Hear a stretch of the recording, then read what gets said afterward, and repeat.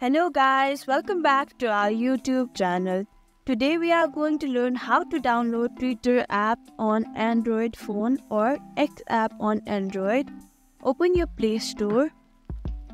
Then tap on the search bar and then type X.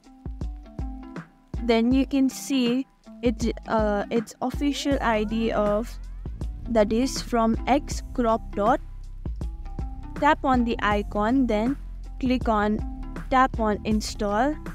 It may take some time according to your internet connection.